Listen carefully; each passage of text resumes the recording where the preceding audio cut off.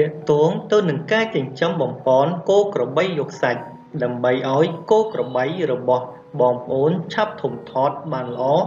ដំបូងយើងត្រូវមានអនាម័យនៅក្នុងការចិញ្ចឹមគឺត្រូវថែរក្សាអនាម័យទ្រុងសត្វរបស់បងប្អូនឲ្យបានស្អាតជានិច្ចដើម្បីការពារពីជំងឺឆ្លងផ្សេងៗ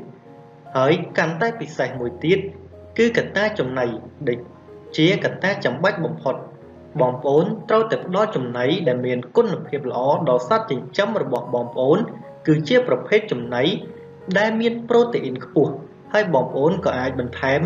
នៅចំណីផ្សំខ្លួនឯងបានផងដែរក៏ដូចជាផ្ដល់នៅចំបើងផ្អាប់ឬផ្អកស្មៅឬពោតផ្អាប់ក៏បាន ពីព្រោះចំណីអស់នេះវាសម្បូរទៅដោយសារធាតុចិញ្ចឹមខ្ពស់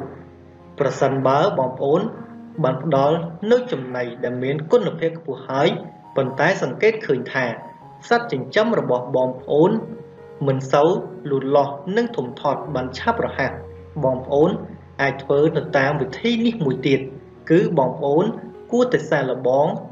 វិធីលេងទឹកឲ្យវាផឹកជារៀងរាល់ថ្ងៃឥឡូវយើងស្វែងយល់អំពីរបៀបលេងទឹកនេះទាំងអស់គ្នា ពីព្រោះវាអាចជួយឲ្យសត្វក្របី គោរបស់បងប្អូនលូតលាស់បានឆាប់រហ័សថែមទៀតផង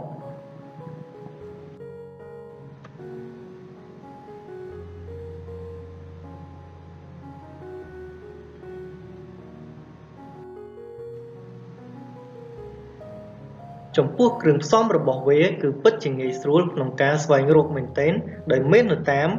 មូលដ្ឋានរបស់បងប្អូន យើងត្រូវការឆ្នាំងដែកដាក់ទឹកមួយដែលអាចដាក់ទឹកបានចន្លោះពី50លីត្រទឹកស្អាត50លីត្រកាកស្ករចំនួន1ភាគ3នៃទឹកអំបិល1ស្លាបព្រាបាយ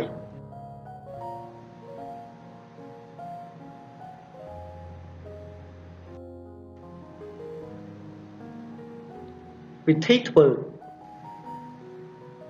ចាក់ទឹកដាក់ចូលទៅក្នុងឆ្នាំងចាក់អំបិលនិងកាក់ស្ករចូលទៅក្នុងទឹក រួចហើយកូរវាឲ្យបានសព្វដោយធ្វើយ៉ាងណាឲ្យក្របអំបិលរលាយចូលទឹកទាំងអស់បន្ទាប់មកយើងដាក់ឲ្យគោផឹកជាការស្រេចការធ្វើបែបនេះវាជួយធ្វើឲ្យគោរបស់យើងឆាប់ធំធាត់ដូច្នេះហើយបងប្អូនគួរតែសាកល្បង